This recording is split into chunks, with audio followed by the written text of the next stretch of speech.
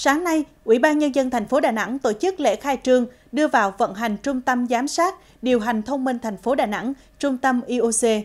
Tham dự buổi lễ có Ủy viên Ban chấp hành Trung ương Đảng, Bí thư Thành ủy, trưởng đoàn đại biểu Quốc hội đơn vị thành phố Đà Nẵng Nguyễn Văn Quảng, Ủy viên dự quyết Ban chấp hành Trung ương Đảng, Phó Bí thư Thường trực Thành ủy, Chủ tịch Hội đồng Nhân dân thành phố Lương Nguyễn Minh Triết, Phó Bí thư Thành ủy, Chủ tịch Ủy ban Nhân dân thành phố Lê Trung Trinh. Chủ tịch Ủy ban Mặt trận Tổ quốc Việt Nam thành phố Ngô Xuân Thắng, cùng lãnh đạo các hội, hiệp hội ngành thông tin và truyền thông, các cơ quan, ban ngành trên địa bàn thành phố Đà Nẵng, các đơn vị tổ chức có hợp tác triển khai trung tâm IOC và Tập đoàn Công nghiệp Viễn thông Quân đội Viettel.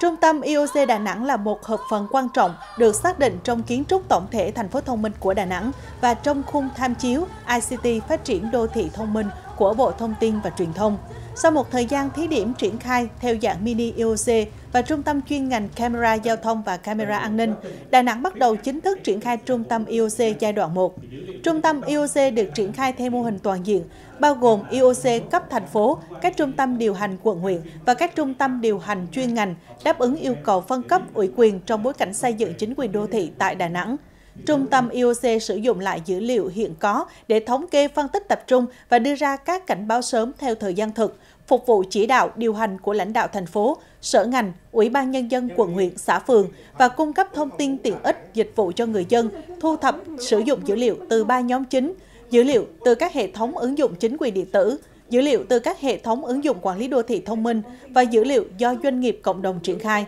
Việc đưa trung tâm IOC vào hoạt động sẽ giúp lãnh đạo các cấp có khả năng giám sát, điều hành, ra quyết định và quản lý chất lượng dịch vụ do thành phố cung cấp một cách tổng thể, mang đến hiệu quả, cơ hội phát triển các ngành lĩnh vực và kinh tế xã hội.